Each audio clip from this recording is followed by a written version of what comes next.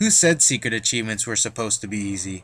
For this one on Dead Island, you're going to need a lot of patience and some co-op partners.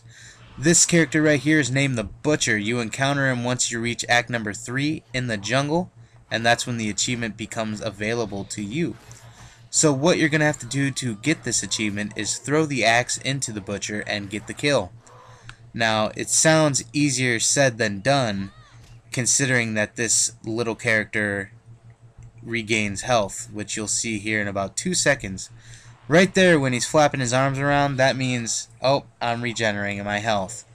Now, the easy way to do this is have your co-op partners beat the living shit out of him, as you see here. And go ahead and just keep hitting him, hitting him, hitting him.